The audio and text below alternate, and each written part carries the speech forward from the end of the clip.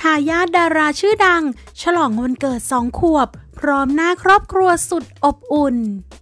ยิ่งโตยิ่งน่ารักนะคะสำหรับน้องเวทย์มนลูกสาวของนักแสดงหนุ่มชื่อดังดีเจแมนและคุณแม่นักร้องสาวเสียงดี ใบเตยอาร์สยาม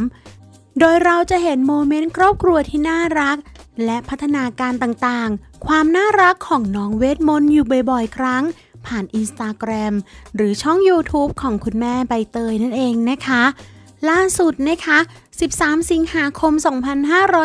2565 ครอบครัวของน้องเวทย์มนได้จัดฉลองวันเกิดให้กับน้องเวทย์มนเนื่องในอายุครบ 2 ขวบแล้วล่ะค่ะ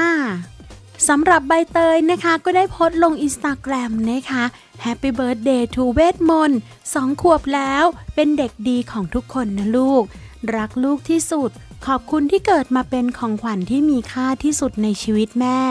ด้านดีเจแมนนะคะ ก็โพสต์ Happy Birthday Baby เวทมนต์ลมหายใจของพ่อสองขวบแล้ว มีความสุขมากๆนะลูก พ่อกับแม่รักหนูที่สุด ท่ามกลางคนดังในวงการบันเทิงนะคะและแฟนๆ เข้ามาอวยพรวันเกิดให้น้องเวทมนต์เป็นจำนวนมากเลยล่ะค่ะ ฝากกดติดตามเพื่อเป็นกำลังใจ และกดกระดิ่ง เพื่อที่จะไม่พลาดคลิปใหม่ ๆ นะคะ ขอบคุณค่ะ